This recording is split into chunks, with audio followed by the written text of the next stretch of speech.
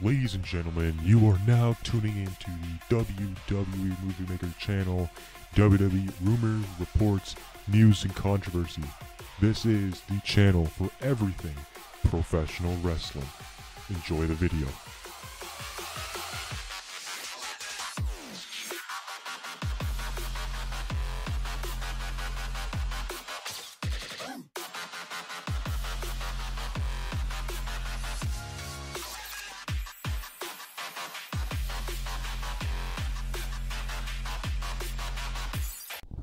Hey man, how's it going? WWE Movie Maker here.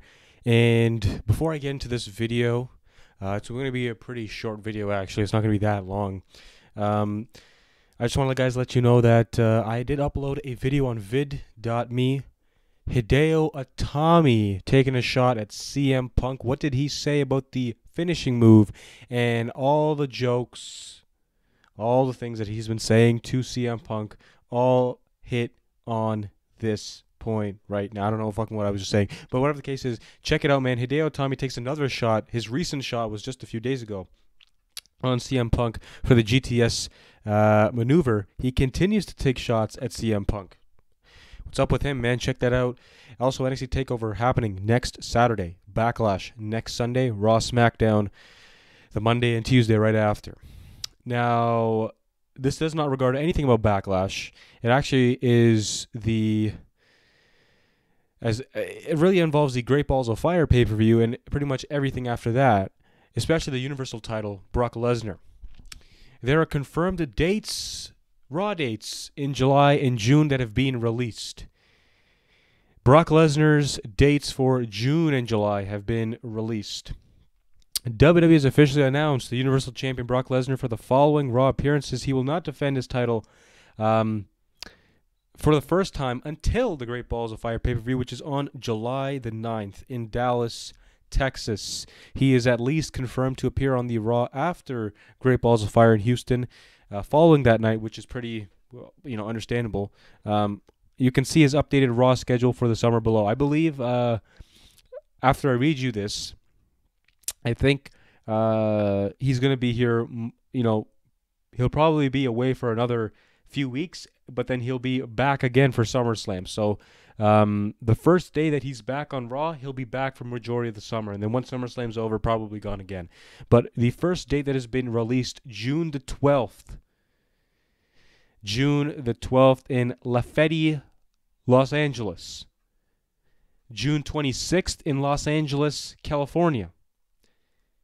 July the 3rd in Phoenix, Arizona, and July the 10th in Houston, Texas. So it seems as if um, he'll be here July the 12th, uh, and he'll probably not be here the week after, but he'll be here the week after that. Uh, and Ju- June the 26th. Let me just quickly check my calendar here.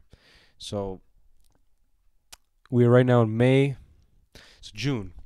June the 12th, which is the Monday Night Raw. He will be there, um, which is which is I believe in probably one, two, one, two, three, four-ish, five. About we still got about a month left, so about four weeks until we actually see Lesnar on television. So he'll be here on the 12th. He'll skip the next week, then he'll be on the 26th, right?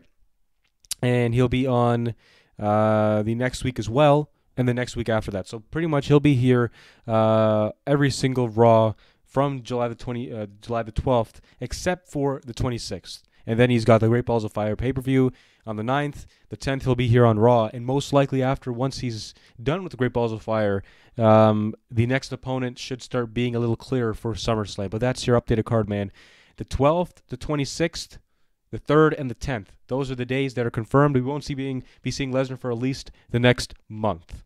That's all you got to need. That's all you need to know, man. He will be here, Great Balls of Fire, defending against assumed Finn Balor, since Braun Strowman is not he is not going to be facing Lesnar due to the injury he has sustained. Ladies and gentlemen, I will see you in the next video.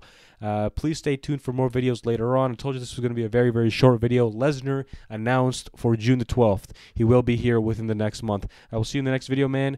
Stay cool, man, because uh, it's starting to get heated outside. Peace out.